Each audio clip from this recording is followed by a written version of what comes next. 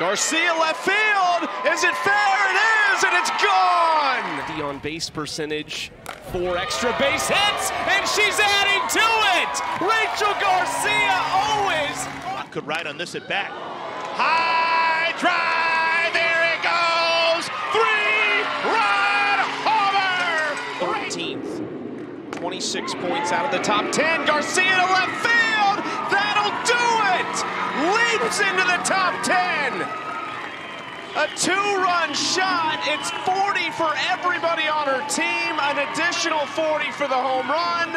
And Rachel Garcia has delivered.